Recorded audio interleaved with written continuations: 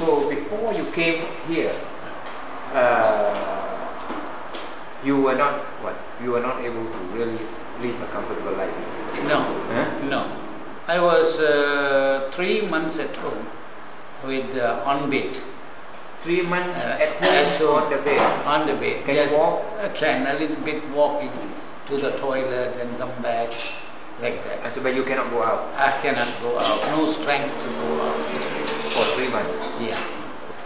The first operation finished, he said, "Uh, Mr. Anthony, this cancer, it will spread. So I asked him any other medicine. Uh-huh. He said there is no medicine. After taking this medicine, about three weeks I could walk in the house mm-hmm. and little bit of outside also. Mm-hmm. Then after that three weeks finished, another three weeks I take the same mm-hmm. herbs medicine.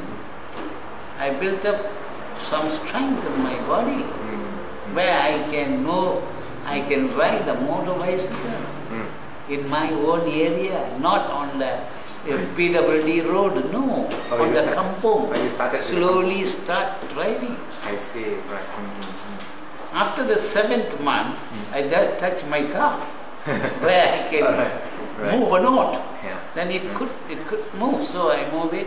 I just go until now. I am driving. You are, yeah. but of course you don't stress yourself. You are doing, Yeah. you are doing fine, Ah. and you put on weight now. Yeah, yeah, Huh? You put on weight. yeah. Put on weight. My daughter and uh, the doctor also advised me to take X-ray, blood test, so much of any test. So I went for the test. Uh-huh. Uh, When I went for the test, he told me that, uh, Mr. Anthony, you are putting on weight, plus that your cancer shell is reduced. That is what they said, your shell has come down, your shell has been reduced. Then I asked the doctor, how you said first, it won't reduce, it will uh, increase. But now you're saying it is reduced. Yeah. He said maybe the herbs working instead. ah, that's what he told me. No, I'm taking herbs. So I gave, him. I'm taking herbs. I see. Yeah.